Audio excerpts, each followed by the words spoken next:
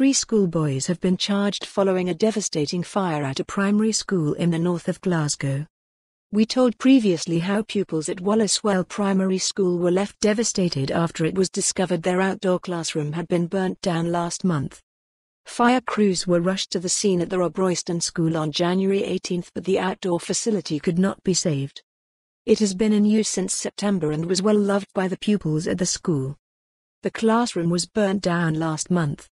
Police have since confirmed that three teenagers, all aged 14, have been charged over their alleged involvement in the fire.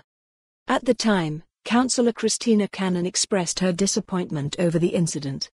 She said, The head teacher told me early in 2019 she intended to invest in the outdoor classroom as the kids would really enjoy outdoor learning. I know she and the pupils at Wallacewell were really looking forward to this being built over summer.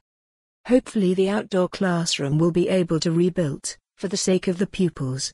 For more on this story, visit the news article link.